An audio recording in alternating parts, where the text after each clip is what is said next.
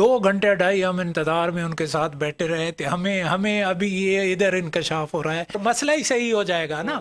रास्ता ही सही निकल आएगा। क्यों कमल दिशा साहब? बिल्कुल सही है। नहीं बिल्कुल आप चैलेंज करें। सदाई न्याय साहब आप चैलेंज करते हैं आप। जो आपके साथ बैठे हुए कोई चैलेंज करें। मेरे पास उस दिन आया सुप्रीम कोर्ट के सदर जो है। हाँ वो शोकत हाँ आप थे आप आप हमारे साथ लैन पे उस दिन भी थे।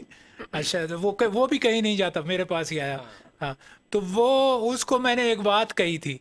उसके बाद मेरा एक दिन टेलीफोन है कि नहीं साहब जो आपने बात कही थी वो सच निकली कि एक सही रास्ते पे मुल्क के लोगों को लाना ताकि उस पे को फैसला आए और फ़ौरन सही रास्ता इख्तियार किया जाए।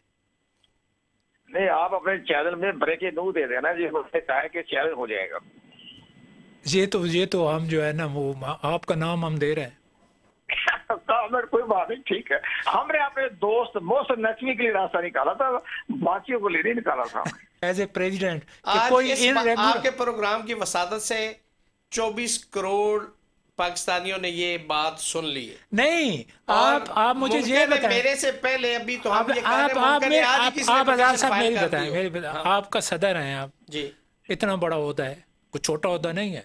सदर high court bar supreme court बड़ा होता है। आप पर आप पे फ़र्ज़ लागू नहीं है कि आप कानून और इनकी हिफाजत करें? हिफाजत करें। बिल्कुल कर सकते हैं लेकिन पता है क्या ये जो बात ही किसी को पता नहीं थी हमने अभी किया। क्यों कमल जिस साहब? जी हाँ जी हाँ बिल्कुल बिल्कुल। हमने आपके आपके चलो पहली दफ़ा आवाज़ उठा दिया हमने।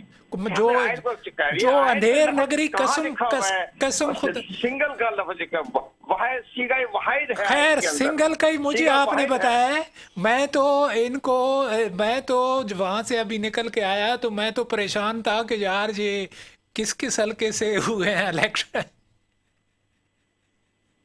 हमारा तो नाम अपना आइंदा देंगे, अभी जरदारी साहब से कह देंगे कि आइंदा हमें उस पर सारा मामले साथ साथ रखे। मैं जरदारी साहब से मुलाकात करूँगा चंद रोज के बाद।